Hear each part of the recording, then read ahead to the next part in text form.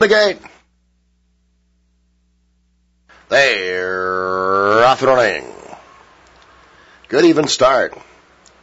Romans run to the front. Prospect Begonia flashing early speed. True competitor right there. Pennant contender and instant messenger firing up for the early lead with Olympic on the far outside. Around the first turn, it's Pennant contender and Corey Nakatani now three quarters of a length in front. Prospect Begonia second. True competitor third up the inside. Olympic racing along in the fourth spot by two. Romans run now five off the pace in fifth.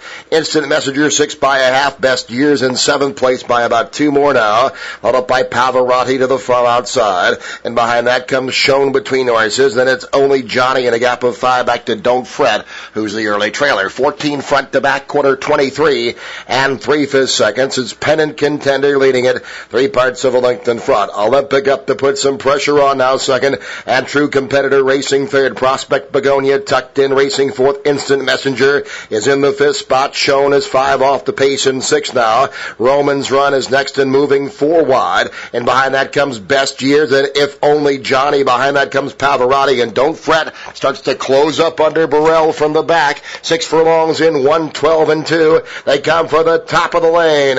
It's pennant contenders set down by Corey Nakatani, cutting the corner and opening up here.